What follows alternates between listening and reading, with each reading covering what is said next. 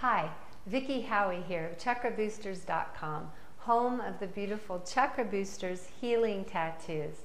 Today, I'm going to talk to you about the right of the seventh chakra.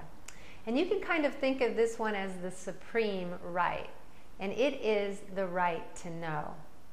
Now, I know that the mind is up here in the upper chakra zone, and we often think when we hear the word know that it's some kind of mental thing.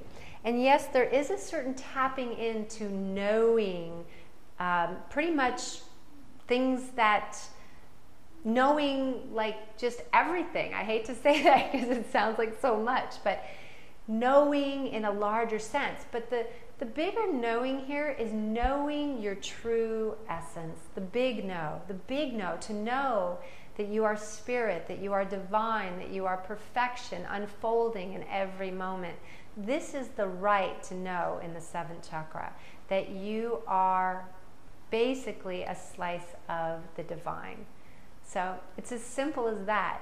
There's nothing you have to do to know it other than to just tap into the seventh chakra. And meditation is a really good way to do that. So throughout your day, you don't even have to stop to meditate. You can just close your eyes.